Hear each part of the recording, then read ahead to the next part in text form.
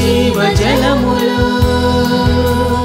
యేసు మాటలు జీవజలములు. యేసు మాటలు నిత్య జీవమునకు నిన్ను చేర్చు బాటలు నిత్య జీవమునకు నిన్ను చేర్చు బాటలు ప్రియమైన ప్రజలారా ప్రభు యేసుని ప్రియులారా. ప్రియమైన ప్రజలారా ప్రభు యేసుని ప్రియులారా. శ్రీమంతులు సామాన్యులు అందరికీ శుభవార్త. శ్రీమంతులు సామాన్యులు అందరికీ శుభవార్త. అందరికీ శుభవార్త అందరికీ శుభవార్త. అందరికీ శుభవార్త.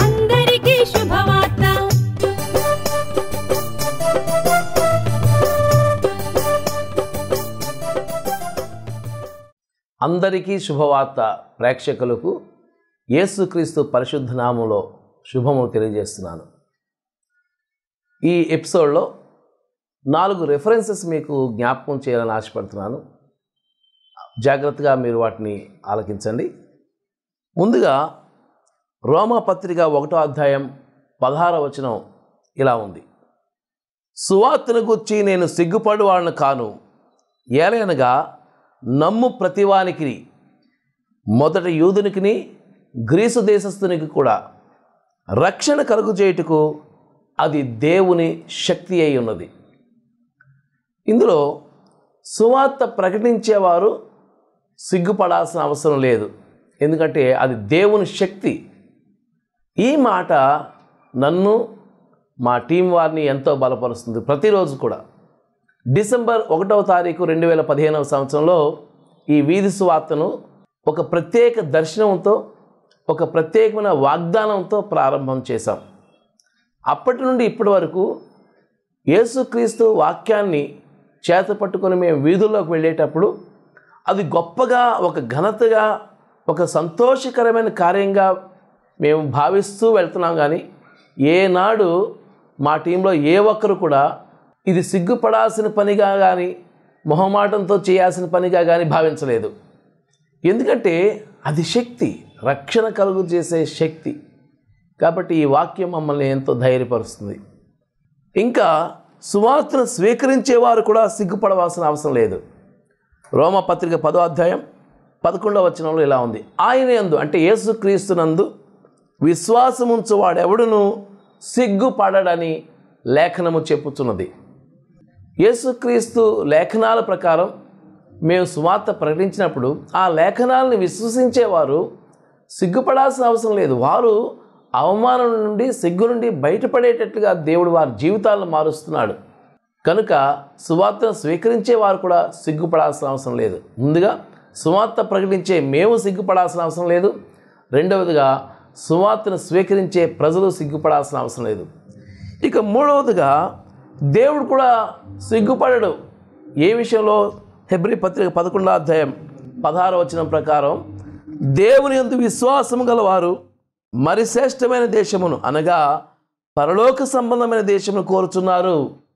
అందుచేత తాను వారి దేవుడునని అనిపించుకున్నట్టుకు దేవుడు వారిని గూర్చి సిగ్గుపడాడు. ఎంత అద్భుతమైన విషయం అండి. ఎవరైతే దేవుణ్ణి విశ్వసిస్తారో వారికి ఒక గొప్ప రాజ్యం దేవుడు ఇవ్వబోతున్నాడు. ఆ రాజ్యంలో వాళ్ళు చేర్చుకున్నప్పుడు నేను వీరి దేవుడిని అని చెప్పుకోవడానికి దేవుడు సిగ్గుపడ్డాట. కనుక ఈ చక్కని వాక్య భాగాలు మమ్మల్ని ప్రతిరోజు వీధిలోకి వెళ్ళి సువార్త ప్రకటించడానికి ప్రోత్సహిస్తున్నాయి. అయితే ఎవరు సిగ్గుపడతారు? ఒకటో కొరింది పత్రిక మొదటో అధ్యాయం ఇరవై ఎనిమిది ఇరవై తొమ్మిది వచనాలు ఇలా ఉంది. జ్ఞానులను సిగ్గుపరచుటకు లోకములో నుండి వెర్రివారిని దేవుడు ఏర్పరచుకుని ఉన్నాడు. బలవంతులైన వారిని సిగ్గుపరచుటకు లోకములో బలహీనులైన వారిని దేవుడు ఏర్పరచుకుని ఉన్నాడు. ఎన్నికైన వారిని వ్యర్థము చేయుటకు లోకములోని నీచులైన వారిని తృణీకరింపబడిన వారిని ఎన్నిక లేని వారిని దేవుడు ఏర్పరచుకుని ఉన్నాడు. అయితే సువార్తని ఎవరైతే స్వీకరించరో ఆ జ్ఞానులు ఆ బలవంతులు ఆ ఎన్నికైన వారు మాత్రం చివరికి సిగ్గుపడతారు. ఈరోజు చాలామంది సువార్తను స్వీకరించకుండా మేము జ్ఞానంలో మేము బలవంతులం మేము ఎన్నికైన వారం మాకు ఇలాంటి మాటలు అక్కర్లేదు ఇలాంటి రక్షణ అక్కర్లేదండి అంటూ తృణీకరిస్తున్నారు. కానీ ఒకరోజు వారు సిగ్గుపడాల్సిన పరిస్థితి వస్తుంది. గనుక సువార్తను ప్రకటించే సహోదరులారా సువార్త సేవకులారా మనం ఒక వ్యక్తితో యేసుక్రీస్తు కూర్చుని చెప్పడానికి సిగ్గుపడాల్సిన అవసరం లేదు. అలా మనం సిగ్గుపడకుండా మొహమాట పడకుండా సువార్త ప్రకటించినప్పుడు మన దేవుణ్ణని చెప్పుకోవడానికి దేవుడు కూడా సిగ్గుపడడు. చాలామంది సిగ్గుపడాల్సిన పరిస్థితిలో అతిశిస్తున్నారట అతిశించాల్సిన పరి విషయాల్లో సిగ్గుపడుతున్నారు. ఏమిటి అతిశించాల్సిన విషయం? సర్వసృష్టికర్త అయిన దేవుడు నా దేవుడు నా తండ్రి ఆయన నా రక్షకుడు అని చెప్పుకోవడానికి సిగ్గుపడుతున్నారు. అయితే ఒక వ్యక్తితో సమాధాన సువార్తను రక్షించే సువార్తను పంచుకోవడానికి మనం మొహమాట పడాల్సిన అవసరం లేదు. కనుక ఎవరికైనా ఈ విషయంలో ఎటువంటి సందేహాలు ఉంటే దయచేసి మాతో మాట్లాడండి. మేము మిమ్మల్ని బలపరుస్తాం. సువార్తకి మిమ్మల్ని మేము తర్పీదిస్తాం. మరి ఈ సువార్తలో మేము మూడు వందల చరణాల ఒక పాట పుస్తకాన్ని మేము ప్రింట్ చేసాం మీకు కావస్తే మీ అడ్రస్ని మాకు ఎస్ఎంఎస్ చేయండి. పూర్తి అడ్రస్ని మీ ఫోన్ నెంబర్తో పాటు మాకు ఎస్ఎంఎస్ చేస్తే ఆ పుస్తకాన్ని మీకు పంపించడానికి ప్రయత్నం చేస్తాం. అది ఆడియో కూడా రికార్డ్ చేసాం అది కూడా మీకు పంపించడానికి మేము ప్రయత్నం చేస్తాం. అయితే ఈ కార్యక్రమాలన్నీ యూట్యూబ్లో మీకు దొరుకుతాయి. Good news for all Shalem అరవై ఐదు అని మీరు కొడితే ఈ కార్యక్రమాలన్నీ కూడా మీకు యూట్యూబ్లో ఉంటాయి. యూట్యూబ్లో ఈ పాట మీరు చూసి నేర్చుకోవచ్చు.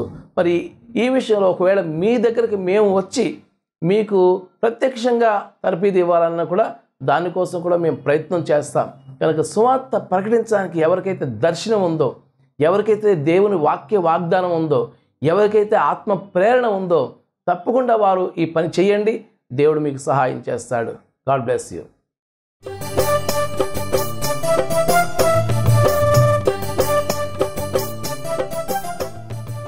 ప్రియమైన ప్రజలారా ప్రభు యేసుని ప్రియులారా. ప్రియమైన ప్రజలారా ప్రభు యేసుని ప్రియులారా. శ్రీమంతులు సామాన్యులు అందరికీ శుభవార్త. శ్రీమంతులు సామాన్యులు అందరికీ శుభవార్త.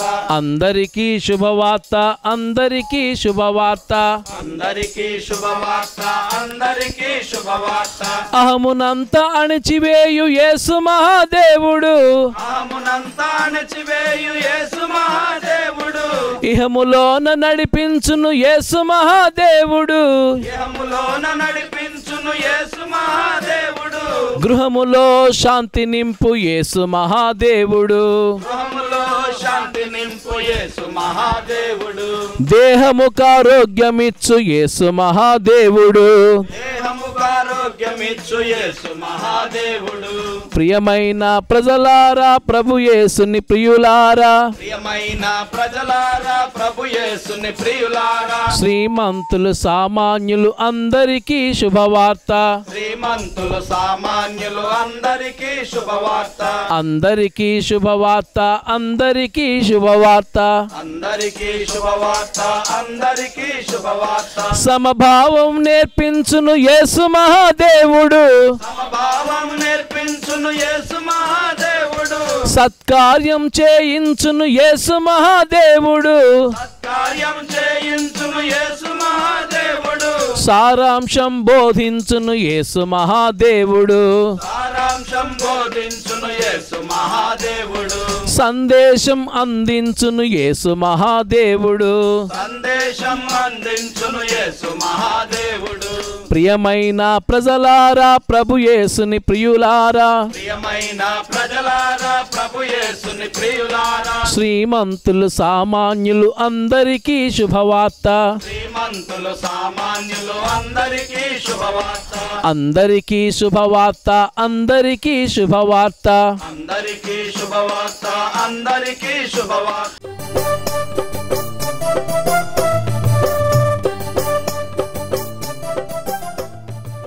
పేతురు రాసిన మొదటి పత్రిక రెండవ అధ్యాయం ఇరవై నాలుగవ వచనం. మనము పాపముల విషయమై చనిపోయి నీతి విషయమై జీవించినట్లు ఆయన తానే తన శరీరమందు మన పాపములను మ్రాణు మీద మోసుకొనెను. ఆయన పొందిన గాయముల చేత మీరు స్వస్థత నొందితిరి ఇచ్చిన వాక్యం దేడు గాక. ఆమెన్. అందరికీ శుభవార్త. అనే బృందము ద్వారా మీ ముందుకు రావడానికి గల కారణము? ఏ మనుష్యుడు ఈ భూమి మీద నశించిపోవట దేవునికి ఉద్దేశము లేదు కాబట్టి ఒక మంచి శుభవార్తను మీకు వినిపింప చేయాలని నరకానికి పాత్రులగుచున్న వారిని పరలోకానికి నడిపించాలనే ఉద్దేశంతో దేవుడు ఇంతమందిని మీ ముందుకు పంపించారు. ఏమిటా శుభవార్త? ఎందుకు నరకానికి వెళతాం అని మనం చూసినట్లయితే ఈ భూమి మీద ఒక మహా అద్భుతం జరిగింది రెండు వేల పదహారు సంవత్సరాల క్రితం. ఏమిటా అద్భుతం? ఎందుకు జరిగింది? ఎవరా అద్భుతం చేసిన వ్యక్తి అని మనం తెలుసుకోవలసిన అవసరం ఉంది. ఎవరు అద్భుతం చేసింది అంటే మనకున్న రూపము ఎవరిది? సృష్టికర్త అయిన దేవుడు ఆయన రూపాన్ని మనకిచ్చాడు. ఆయన ఆజ్ఞలను మనల్ని పాటించమన్నారు. మనుషులమైన మనము మన సొంత జ్ఞానము చేత ఆయన ఆజ్ఞలను అతిక్రమించడం ద్వారా పాపులుగా మారినప్పుడు దేవుని యొక్క సొంత కుమారుణ్ణి ఈ భూమి మీదకి నరుడుగా మరలా మన రూపంలో పంపించారు. ఆయనే ప్రభు అయిన యేసు క్రీస్తు. ఎందుకు ఆయన ఈ భూమి మీదకి రావాల్సి వచ్చింది అంటే ఏ పాపము సృష్టికర్తైన దేవునికి మనకి పరలోకములో పాత్రులమైన మనల్ని దూరపరిచిందో ఆ పాపము నుంచి నరులైన మనల్ని విడిపించడానికి.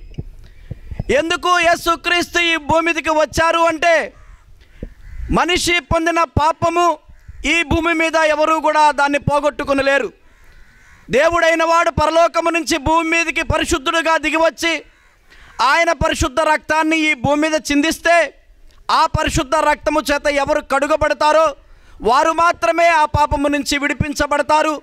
నరకాన్ని తప్పించుకొని పరలోక రాజ్యానికి వెళతారు. అయితే యేసుక్రీస్తు మనుషులందరినీ ప్రేమించి ఏమిటి చేసిన అద్భుతం ఆయన అంటే ఆయన మన కొరకు శిలవ మీద మరణించారు. ఆయన మన కొరకు ఆయన పరిశుద్ధ రక్తాన్ని కార్చారు. దేవుడై ఉండి పరలోకము నుంచి భూమి మీదకి దిగి వచ్చిన దేవుడు ఎవరైనా ఈ ప్రపంచ వ్యాప్తముగా ఉన్నారా అంటే ఎవరూ లేరు. ఈ భూమి మీద ఒక మనిషి తల్లి తండ్రికి పుట్టి పెద్దవారై దేవుడు అనిపించుకున్న వారు తప్ప దేవుడుగా దిగి వచ్చిన వారు లేరు అనే సత్యాన్ని మీకు తెలియచేయడానికే ఈ సాయంకాల సమయంలో మీ ముందుకు వచ్చాం. అంతేకాదు మనుషుల పాపము కొరకు మనుషులందరి కొరకు చనిపోయిన వారు ఎవరు ఉన్నారా అంటే ఎవరు లేరు. రెండు వేల పదహారు సంవత్సరాల క్రితం ప్రభుని యేసుక్రీస్తు మాత్రమే చనిపోయారు. అంతేనా చనిపోతే దేవుడు అని మనం అనుకోవాల్సిన అవసరం లేదు. చనిపోయిన దేవుడు మనిషి భూమి మీద బ్రతికిన వారు ఎవరూ లేరండి. ప్రభుని యేసు క్రీస్తు తప్ప. ఆయన చనిపోయి మూడు మూడు దినములు సమాధి చేయబడి మూడో దినమున సజీవుడుగా తిరిగి లేచిన వారు ప్రభుని యేసుక్రీస్తు మాత్రమే. అంతేకాదు ఈ భూమి మీద అనేక అద్భుతములు చేసిన నరుడైన సంపూర్ణ నరుడు సంపూర్ణ దేవుడు ప్రభుని యేసుక్రీస్తు. ఏమిటి ఆయన చేసిన అద్భుతము? అంటే చనిపోయిన వారిని తిరిగిని లేపారు. అనేక భయంకరమైన వ్యాధులలో ఉన్న వారిని ఆయన మాట చేత స్వస్థపరిచారు. అంతేనా? మరలా రాజుల రాజుగా ప్రభుల ప్రభువుగా తిరిగి రావడానికి సిద్ధంగా ఉన్నారు. మొదట తన ప్రజలను వారి పాపముల నుంచి రక్షించడానికి రక్షకుడుగా రెండు వేల పదహారు సంవత్సరాల క్రితం మనిషిగా దిగి వచ్చిన యేసుక్రీస్తు రెండవసారి ప్రభువులకు ప్రభువుగా రాజులకు రాజుగా వస్తున్నాడు న్యాయాధిపతిగా. ఈసారి వచ్చేది ఏదైతే ముప్పై మూడున్నర సంవత్సరాలు ఈ భూమి మీద దేవ మనిషిగా జీవించి మనిషి ఏ విధముగా బ్రతకాలో ఏ విధముగా మాట్లాడాలో ఎంత నీతివంతమైన జీవితము జీవించాలో తెలియచేశారు. ఆయన జీవన విధానము ద్వారా చూపించారు. ఆయన సహవాసము ద్వారా ఆయన ప్రేమను మనకు చూపించారు. ఆ మార్గములోనే ఆయన జీవించమన్నారు. అందుకే చెప్పారు ఆయన నేనే మార్గమును నేనే సత్యమును నేనే జీవమునై ఉన్నాను. నా ద్వారా తప్ప తండ్రి యొద్దకు ఎవరు రాలేరు అని. కాబట్టి నా ప్రియమైన గంగవరం నివాసులారా ఎవరైతే యేసుక్రీస్తును దేవుడిగా అంగీకరిస్తారో ఎవరైతే నా కొరకు యేసుక్రీస్తు ఈ భూమి మీద ఆయన పరిశుద్ధ రక్తాన్ని చిందించాడు అని నమ్ముతారో ఎవరైతే సిలువ మీద యేసుక్రీస్తు నా కొరకు మరణించాడు అని నమ్ముతారో ఎవరైతే యేసుక్రీస్తు చనిపోయి సమాధి చేయబడి తిరిగి మూడవ దినము లేచాడు అని నమ్ముతారో ఆ విధముగా నేను మరణించిన క్షణమున యేసుక్రీస్తును మరణించే ముందు అంగీకరించినట్లయితే నేను కూడా యేసుక్రీస్తు వలె తిరిగి ఆయన రాకడలో ఎత్తబడతాను. పరలోక రాజ్యంలో అని నమ్మకం ఉంచుతారు. వారు పరలోకరము పరలోక రాజ్యము చేరడానికి అర్హత సంపాదిస్తారు. అంతేకాదు నేను పాపుని అని గ్రహించిన నాడు ఆయన దేవుడు అని అంగీకరించినాడు. ఆ క్షణమందే ఆ పరిశుద్ధ రక్తము నీ పాపము నుంచి విడిపిస్తుంది. నిన్ను పరిశుద్ధునిగా చేస్తుంది. పరిశుద్ధునిగా నీతిమంతునిగా జీవింప చేస్తుంది. ఆయన యొక్క రాకడలో నువ్వు పరలోక రాజ్యముగా నడిపించబడతావు. కాబట్టి నా ప్రియమైన సహోదరులరా యేసుక్రీస్తు మిమ్మల్ని ప్రేమించాడు. ఆయన సత్య మాటలను మేము మీకు తెలియచేయమన్నాడు. ఈ క్షణమే యేసుక్రీస్తుని దేవుడిగా అంగీకరించండి. ఆయన పరిశుద్ధ రక్తంలో కడుగబడండి. ఆయన రాజ్యమునకు వారసులు కండి. ఈ వాక్యమును దేవుడు దీవించి ఆశీర్వదించునుగాక. మీన్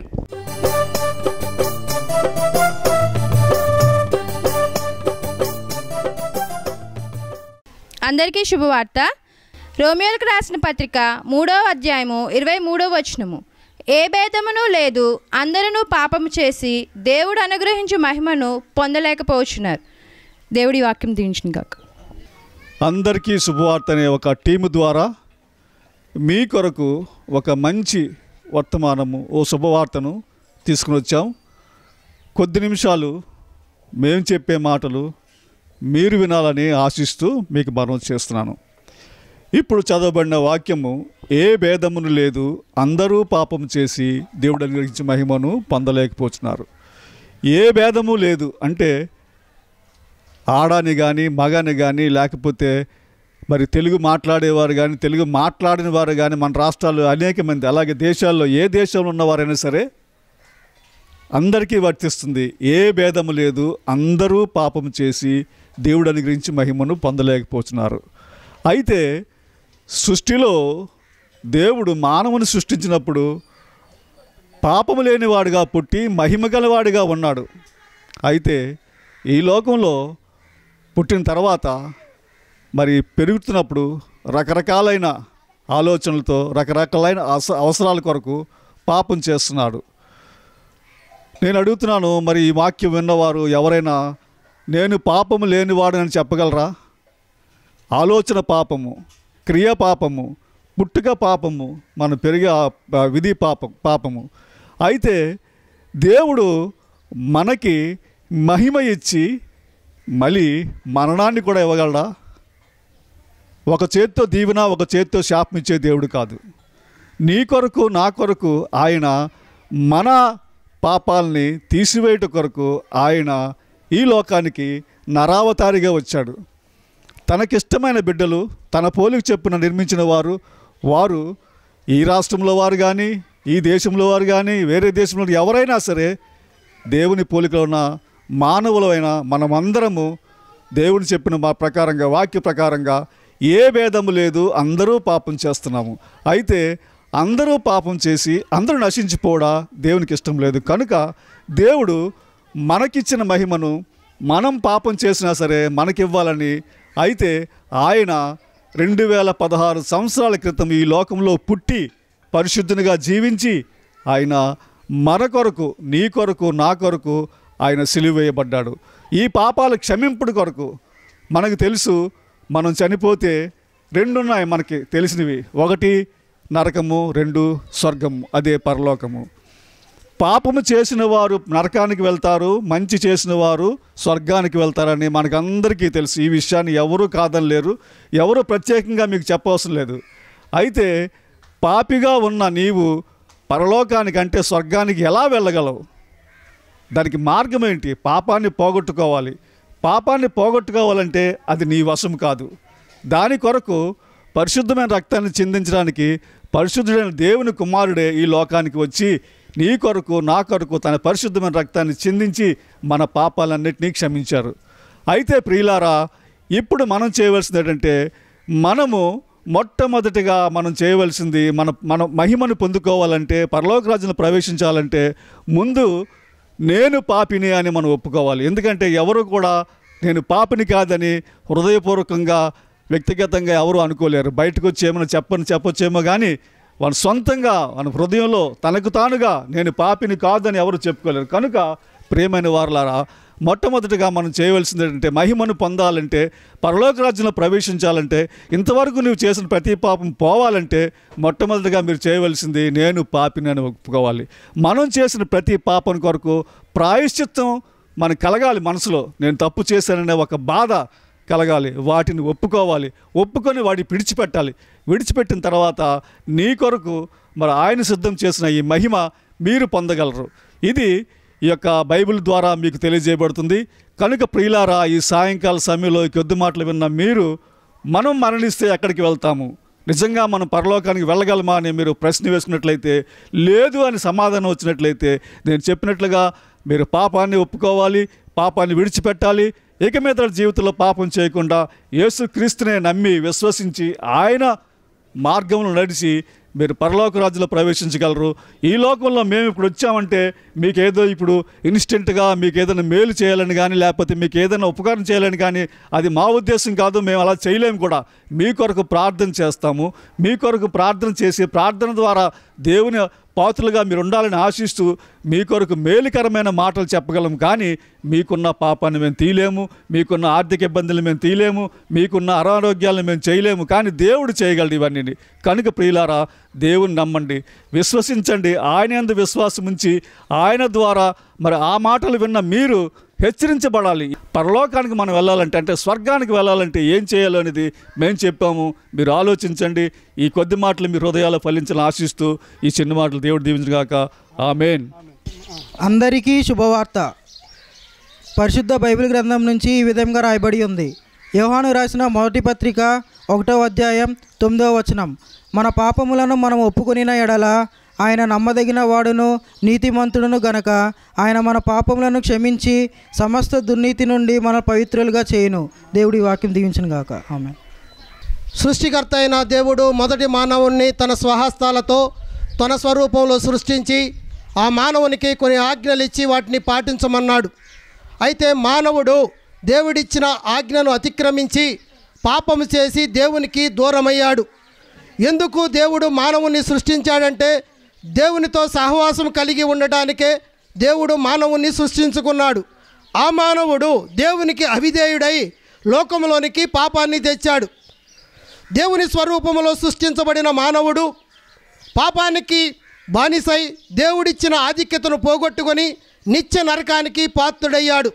మనిషిలో ప్రవేశించిన ఆ పాపాన్ని తీసివేయటానికి సర్వ సృష్టికర్త అయిన దేవాది దేవుడు తన అద్వితీయ కుమారుడైనటువంటి యేసుక్రీస్తు ప్రభువారిని ఈ లోకానికి పంపించారు.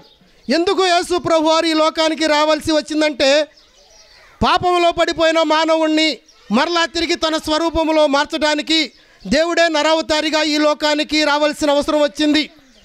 తన స్వహస్తాలతో తన స్వరూపంలో సృష్టించుకున్న మానవుని పట్ల దేవుడు దయ జాలి కనికరము కలిగి పాపబంధకాల్లో నుంచి మానవుణ్ణి విడుదల చేసి తాను సృష్టించుకున్న ప్రజలందరినీ నిత్యరాజ్యంలో వారసులుగా చేయటానికి నిష్కళంకమైన నిర్దోషమైన రక్తాన్ని చిందింపజేయటానికి గాను దేవుని కుమారుని మనుష్య రూపంలో ఈ లోకానికి పంపించారు. ఆయనే ప్రభు అయిన క్రీస్తు. క్రీస్తు ప్రభు వారు రెండు వేల పదహారు సంవత్సరముల క్రితము ఈ లోకానికి వచ్చి ఎన్నో అద్భుత ఆశ్చర్య కార్యాలు జరిగించి సర్వ మానవాళి చేసిన పాపములు అపరాధముల కొరకు సిలువ వేయబడి సిలువలో తన పరిశుద్ధ రక్తాన్ని చిందించి సిలువలోనే మరి ఆయన మరణించి మూడవ దినాన తిరిగి సజీవుడిగా లేచారు యేసు ప్రభు వారు. ఆయన పాపం లేని పరిశుద్ధుడైన దేవుడు మనుషులందరి పాపములను క్షమించుటకు అధికారం ఉన్న దేవుడు యేసు ప్రభు వారు పాపులను రక్షించుటకు ఈ లోకానికి వచ్చారు. ఎంత పాపినైనా సరే యేసు ప్రభు వారు చేర్చుకుంటారు. ఎప్పుడు పాపులను చేర్చుకుంటారంటే ఎవరైతే యేసు ప్రభు వారి దగ్గరికి వచ్చి నేను పాపినని వారి పాపాలు ఒప్పుకుంటారో వారి పాపములను యేసుప్రభు వారు క్షమించి వారిని చేర్చుకొని వారికి ఒక నూతనమైన జీవితాన్ని ఇచ్చి నిత్య రాజ్యంలో వారిని వారసులుగా చేస్తారంటున్నారు ప్రభువారు పాపములు ఒప్పుకోవాలి అనగానే మనం ఏమనుకుంటామంటే నాలో ఎలాంటి పాపం లేదు నేను మంచిగానే ఉన్నాను నేను ఎవరికి అన్యాయం చేయలేదు అని అనుకుంటూ ఉంటాం. పాపం మనలో పాపం లేదని కనుక మనం అనుకున్నట్లయితే మనలో మనం మోసపుచ్చుకున్న వారం అవుతాం. పాపం అనేది ఈ లోకంలో పుట్టిన ప్రతి ఒక్క వ్యక్తిలోనూ ఉంటుంది. పాపం అనేది మనిషిలో రెండు రకాలుగా ప్రవేశించింది. అది ఎలా అంటే ఒకటి జన్మతా పాపం రెండు కర్మ పాపం.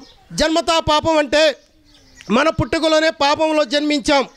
రెండు కర్మ పాపం అంటే ఈ లోకంలో మనం జీవిస్తున్నప్పుడు మనతో వస్తున్న పాపాలు మనం కోరి తెచ్చుకున్న పాపాలు మనం పెట్టుకున్న పాపాలు. అవేంటంటే స్వార్థం అసూయ ద్వేషం. మరి చెడు తలంపులు చెడు చూపులు చెడు మార్గాలు అబద్ధాలు మరి మన పొరుగు వారిని ప్రేమించలేకపోవటం ఇతరులను క్షమించలేకపోవటం ఇవన్నీ పాపాలే. ఈ పాపాలన్నీ తీసివేయటకు ఆయన ఈ లోకానికి వచ్చారు. యేసుప్రభు వారు మన పాపములను ఆయనపై వేసుకొని పాపం లేని ఆయన మన నిమిత్తం పాపంగా చేయబడ్డాడు. మరి ఆ పాపం ఏ విధంగా తీసివేయబడుతుందంటే మరి ఎవరైతే యేసు ప్రభు వారి దగ్గరకు వచ్చి నేను పాపినని ఒప్పుకొని ఆయనను తమ సొంత రక్షకునిగా చేర్చుకుంటారో రక్షణ పొందుకుంటారో. వారి పాపములను తీసివేయటానికి ఈ లోకానికి వచ్చారు. మరి ఆ రక్షణ మనం ఏ విధంగా పొందుకోగలమనగా యేసు దేవుడని నీ నోటితో ఒప్పుకొని దేవుడు మృతులలో నుండి ఆయనను లేపనని నీ హృదయమందు విశ్వాసం ఉంచినట్లయితే నీవు రక్షణ పొందుకుంటావు. ఈ రక్షణ అనేది ఈ లోకంలో పుట్టిన ప్రతి ఒక్క మానవునికి ఉచితంగా ఇవ్వటానికి రెండు వేల సంవత్సరాల క్రితం యేసు ప్రభు వారు శిలువ మరణం ద్వారా గొప్ప త్యాగం చేశారు. ఆ యొక్క రక్షణ పొందాలంటే ఇదే అనుకూల సమయం. ఇంత మంచి గొప్ప రక్షణను నిర్లక్ష్యం చేసినట్లయితే నరకానికి పాత్రులవుతారు. రక్షణ అనేది ఈ లోకంలో మానవుడు జీవించి ఉండగానే మనం పొందుకోవాలి. మానవుడు మరణించిన తర్వాత ఆ అవకాశం ఉండదు. ఎందుకంటే మనిషి ఒక్కసారే మృతి పొంది ఆ తర్వాత తీర్పులోకి వస్తాడు. తీర్పులోకి రాకముందే యేసు ప్రభువుని దేవుడని తెలుసుకొని ఆయన ఎందు విశ్వాసం ఉంచి యేసు ప్రభువారిని తమ సొంత రక్షకునిగా అంగీకరించి మీరంతా మారు మనసు పొంది పరలోక రాజ్యములో వారసులుగా ఉండాలని మీ నిమిత్తం ప్రార్థించడానికి వచ్చాం. అట్టి పరలోక రాజ్యంలో మీరందరూ కూడా నిత్య సంతోషం ఆనందంతో యేసు ప్రభు వారితో కలిసి జీవించే గొప్ప భాగ్యం మీరందరూ పొందుకోవాలని మీ నిమిత్తం ప్రార్థిస్తూ ఈ మాటలు ముగిస్తున్నాను. దేవుడు మిమ్మల్ని దీవించునుగాక ఆమెన్.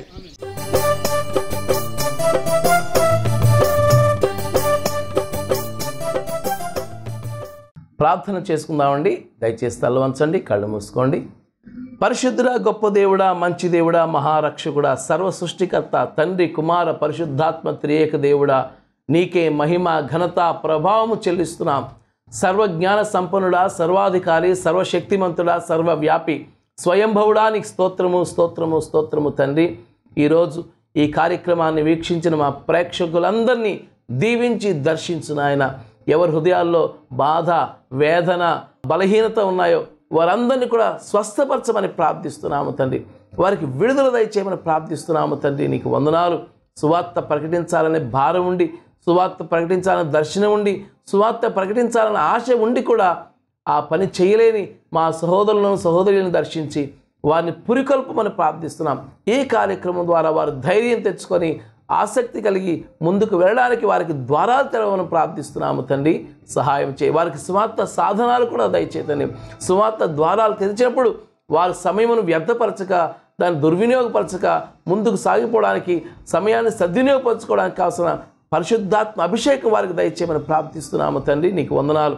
సంఘాలను ఆస్వాదించు నీ విశ్వాసం ఆస్వాదించు వర్ధిల్ల చేతండి నీ కృపలో వారు అంతకంతకు వర్ధిలుచు నీ రాజ్య విస్తరణలో వారు భాగస్వాములుగా ఉండటకు నీ కృప వారికి దయచేయమని. నీవే మహిమ పొందమని ఏసునామలో ప్రార్థిస్తున్నాము తండ్రి. ఆమెన్. పరమ తండ్రి యొక్క ప్రేమ యేసుక్రీస్తు యొక్క కృప పరిశుద్ధాత్మ దేవుని యొక్క అన్యోన్య సహవాసము శాంతి శక్తి సమాధానములు మీ అందరికీ మీ కుటుంబాలకు తోడుగా ఉండి వర్ధిల్ల చేయునుగాక. ఆమె అందరికీ శుభవార్త అందరికీ శుభవార్త.